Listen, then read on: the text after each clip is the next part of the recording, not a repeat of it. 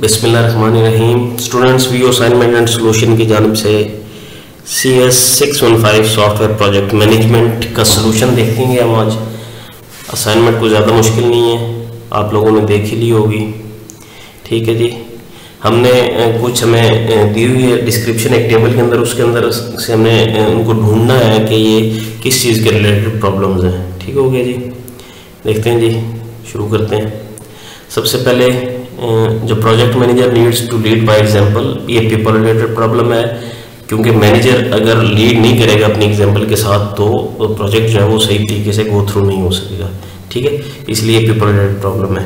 Software development team can lose focus of the objective by getting into research oriented approach अगर team जो है वो research oriented approach इस्तेमाल करना शुरू कर देगी तो डेवलपमेंट नहीं हो सकेगी।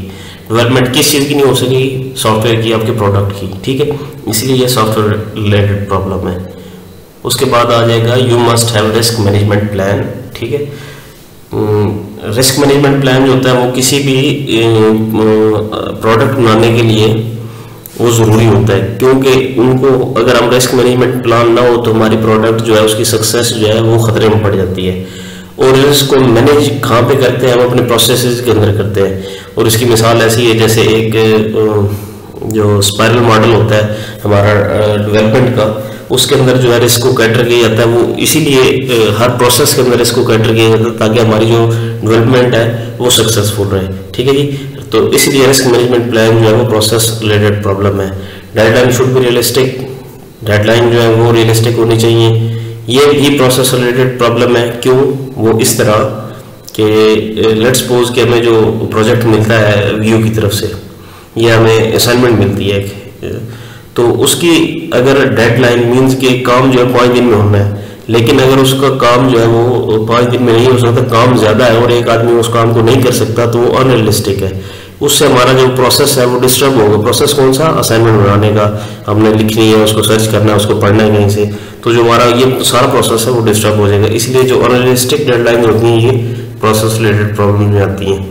ठीक है जी? अगर किसी सॉफ्टवेयर के कंपोनेंट्स को हम री यूज़ नहीं कर सकते मीन्स कि हम कोई ऐसी क्लास लिख देते हैं, जो एक बार हमने यूज़ कर ली, लेकिन हम नेक्स्ट टाइम उसको यूज़ नहीं कर सकते तो वो टेक्नोलॉजी प्रॉब्लम मीन्स के जो सी प्लस प्लस के अंदर सॉरी सी के अंदर हमारे पास अब फैसिलिटी नहीं है कि हम क्लासेस को लिख सकें, ठीक है? लेकिन सी प्लस प्लस के अंदर है।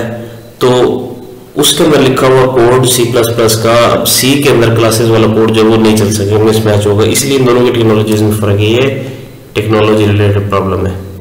उसके बाद जो टीम मेंबर्स होते हैं, उनके अंदर अगर कोई कंफ्लिक्ट हो तो वो रिजॉल्व करना ज़रूरी है। तो ये प्रोसेस रिलेटेड प्रॉब्लम है पीपल रिलेटेड प्रॉब्लम नहीं है। इस बात को ध्यान से रखें क्योंकि कुछ लोग इसको बुक में से ढूँढने की कोशिश करेंगे, लेकिन शायद उनको बुक में से ना मिले। इसलिए आप इस बात को ध्यान में रखें कॉन्फ्लिक्ट और difference of opinion within the team जो है, वो प्रोसेस रिलेटेड प्रॉब्लम है। क्यों? क्योंकि अगर एक आदमी कहता है कि ये काम जो है, या कोड जो है, वो हम दस दिन में लिख सकते हैं। लेकिन उसी टीम का दूसरा आदमी कहता है कि नहीं, ये ये कोड जो है, ये दस दिन में नहीं, हम पाँच दिन में लिख सकते हैं या पंद्रह दिन में लिख सकते हैं। तो वहाँ पे उन दोनों हो सकता है कि दोनों ठीक हो, लेकिन दोनों की अप्रोच डिफरेंट हो।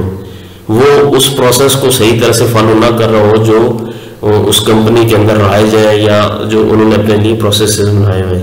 ठीक है जी? उसके बाद जो वर्क प्लेस है वो फ्रेंडली होना चाहिए।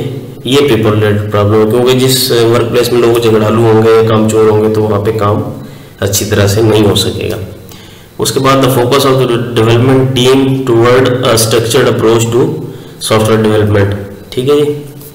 ये प्रोसेस रिलेटेड प्रॉब्लम है कि कोई भी सॉफ्टवेयर बना रहे हो आप मतलब आपने वो रिसर्च ओरिएंटेड अप्रोच अपनानी है या ऑब्जेक्ट ओरिएंटेड अप्रोच बनानी है, लेकिन लोग उसको एक स्ट्रक्चरल अप्रोच चले मतलब लीनियर तरीके से उसको लेके चलना शुरू कर दें तो वहाँ पे जो आपका प्रोसेस है वो मसला करेगा आपके साथ। मीन्स की प्रोसेस जो वो सही तरह से इम्प्लीमेंट नहीं हो सकेगा। चेंज को मैनेज करना प्रोडक्ट के अंदर ये भी प्रोडक्ट रिलेटेड प्रॉब्लम है, क्योंकि जो प्रोडक्ट हम बना रहे होते हैं, अगर उसकी रिक्वायरमेंट्स चेंज होती रहे और वो मैनेज ना हो उस प्रोजेक्ट के स्कोप के अंदर तो ये उस प्रोडक्ट में प्रॉब्लम आना शुरू हो जाएँगी। ठीक है जी? और I think it's last last one software product should be integrated easily with existing software ठीक है जी। मीन्स के आपने जो प्रोडक्ट बनाई है, वो आने वाली टेक्नोलॉजी के साथ इंटीग्रेट हो जाए इजीली तो ये टेक्नोलॉजी रिलेटेड प्रॉब्लम होगी। बस ये मेरे ख्याल में ख़त्म हो गई है। तो दोस्तों, ये थी असाइनमेंट 615 की। बहुत ही आसान असाइनमेंट थी। उम्मीद आप लोगों को समझ आ गई होगी। और मैं उम्मीद करूँगा कि आप चैनल को सब्सक्राइब करेंगे और बेल आइकन को भी ज़रूर दबाएँगे। वीडियो को लाइक ज़रूर कीजिएगा। दुआ में याद रखिएगा। और नेक्स्ट सोल्यूशन तक के लिए Allah is.